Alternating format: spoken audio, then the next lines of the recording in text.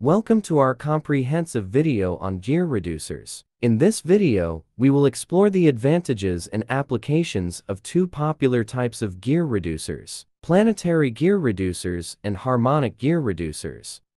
A planetary gearbox consists of a central sun gear, surrounding planetary gears, an internal gear with inward-facing teeth, and a carrier. The carrier holds the planetary gears, enabling smooth rotation around the sun gear. As the sun gear receives input, the planetary gears and carrier rotate, achieving consistent and effective speed reduction through their varied gear teeth.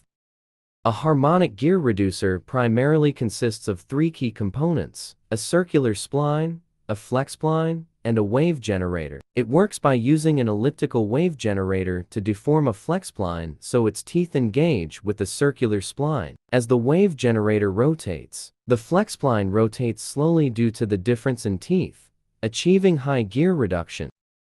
The advantages of planetary gear reducer.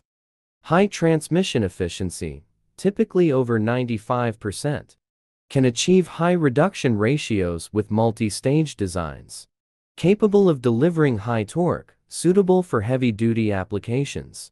Compact structure with a small footprint and lightweight construction. Robust construction with a long lifespan and low maintenance requirements. The advantages of harmonic gear reducer.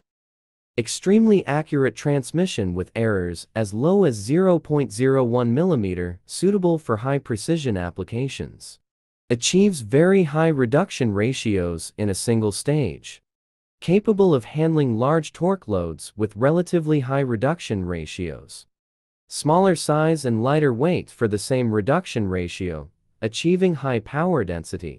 Utilizes flexible components for transmission resulting in minimal impact and vibration, and thus low noise.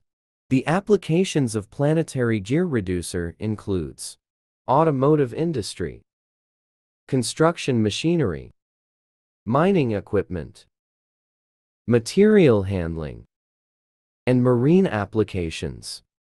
The applications of harmonic gear reducer includes robotics, aerospace, industrial automation, medical devices, and renewable energy.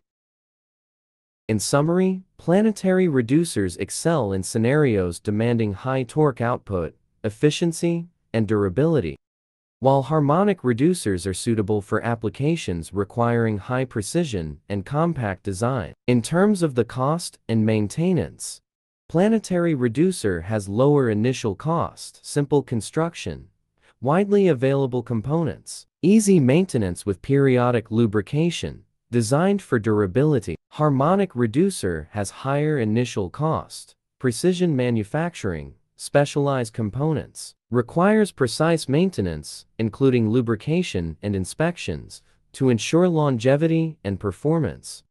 In summary, both planetary reducers and harmonic reducers have their respective advantages. The choice should be based on specific application, performance requirements, cost, and maintenance considerations.